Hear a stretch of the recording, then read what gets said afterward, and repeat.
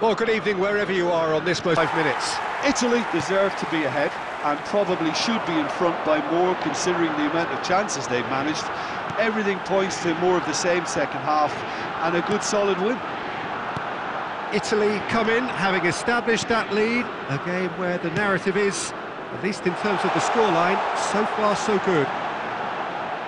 And we are already promptly back on the underway. Can he finish? Really well taken goal. A two-goal lead and they're firmly in control.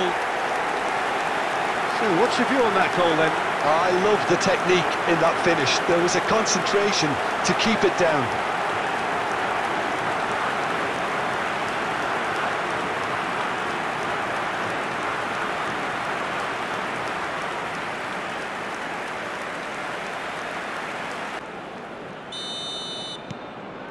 Italy take a two-goal lead and things should be comfortable from here on in. The turning of the screw comes to mind, Peter. They've got them where they want them. Just the keeper to beat! Well, the defence proved infallible then, but that won't be the last they'll see of him. Big chance! What great hit! And that has been knocked clear. Into